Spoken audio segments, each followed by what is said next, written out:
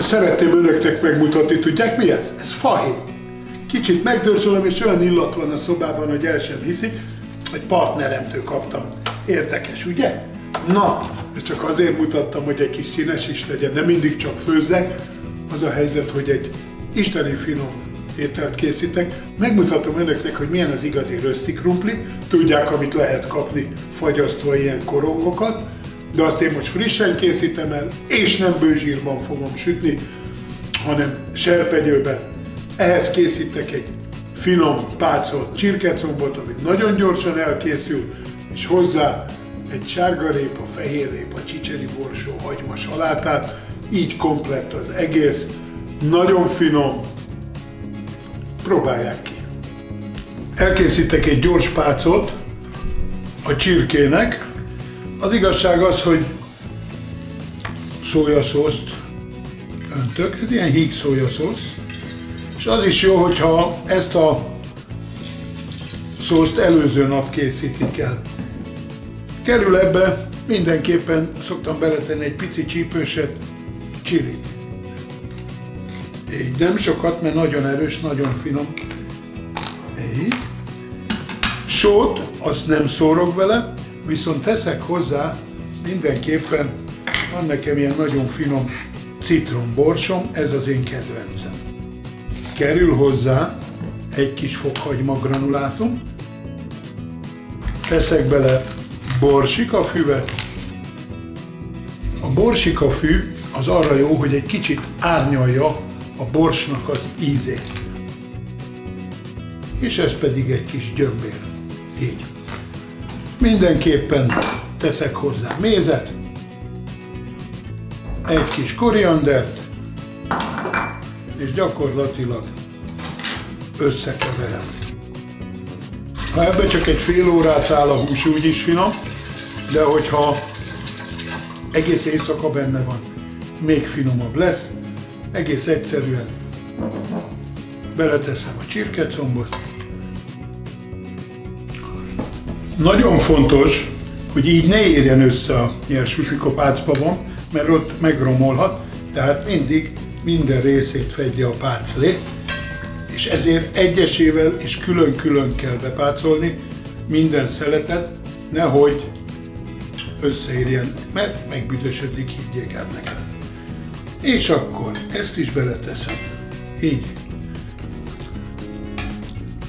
Félreteszem, sehol amennyiben lehet, nézzék meg, sehol ne lógjon ki, tehát a hús mindenhol legyen bevonva a páccal. Félreteszem, az a legjobb, ha ez egy egész éjszakát pácolódik. Közben lereszelem a sárgarépát, a fehér répát, beleteszem egy serpenyőbe, és megy is pirulni. Itt van ez a kis lila hagyma, ezt is hozzáteszem a zöldséghez. És itt van ez a kis fehér hagyma. Ez is megy a zöldséghez. Megy vissza a tűzre. Most pedig a négy oldalú reszelőnek a nagy lukú részén a héjában főtt burgonyát is lereszelem. Ez is elkészült, ebből lesz, ebből lesz a rösti krumpli. Gyakorlatilag minden elkészült, irány a tűzhely. Itt van a reszelt gyökérzöldségek, ebből egy meleg salátát készítek, vagy melegen készülő saláta lesz belőle, azért nem pirítottam meg a hagymát. Egy kevés olajon, só nélkül, viszont fűszerrel. Ugyanazokkal a fűszerekkel, mint amivel a húst fűszereztem. Tehát megy rá egy kis gyömbér, megy rá egy kis borsikafű, ugye a borsikafű segít a borsnak, mint ahogy a citrom is, ezért ez citrombors. És csak a legvégén fogom megsózni. Viszont néhány csepp almaecet, méz, és szója is kerül hozzá. Na, amíg ez itt megpirul, Addig fölteszem a csirkecombot is sülni. Kevés olaj.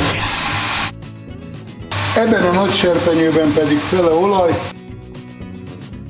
fele vajban megpirítom a burgonyát. Ez itt szépen alakul, nem kell teljesen puhára pirítani, sütni, mert hát ugye egy ropogós állagot szeretnék elérni. Megy hozzá a csirkecom. A bajba, olajba pedig megy bele a krumpli. Szépen elegyengetem benne. Erre is megy egy kis bors. Megsózom. És nagyjából békén hagyom. A saláta elkészült. Egyetlen dolog kell hozzá még, a csicseri borsó. És mint látják, ez az étel is teljesen gluténmentes. Mégis kiadós. Vigyázni kell, mert azért ez nem annyira szénhidrát csökkentett, a csicseri borsóban is van, és a burgonyában is. Aki nézte az Instagramot, az láthatta, hogy kiszedtem múlt héten a gyökeret, meg a petrezsém gyökeret, meg a sárgarépát. A petrezsém zöldet ilyenkor, meg a zeller zöldet általában összeszoktam vágni, és megy be a mélyhűtőbe, és mindig használok belőle, amennyi szükséges. Ezt ajánlom mindenkinek. Gyakorlatilag ennek a zöldség salátának már csak annyi a dolga, hogy kihűljön. Nagyon-nagyon finom ez is. Így. Félre is teszem. Ennek időt kell hagyni, hogy szépen piruljon meg az alja.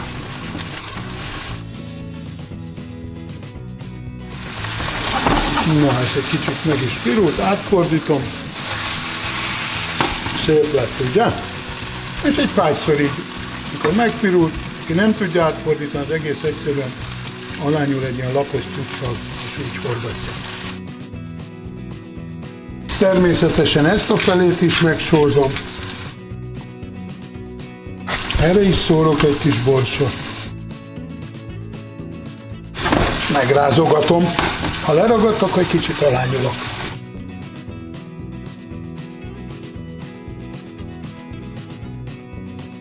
Ez az igazi finom röszti krumpli. Nincs más hátra, tálalok. Elkészült ez a gyönyörűséges röszti krumpli.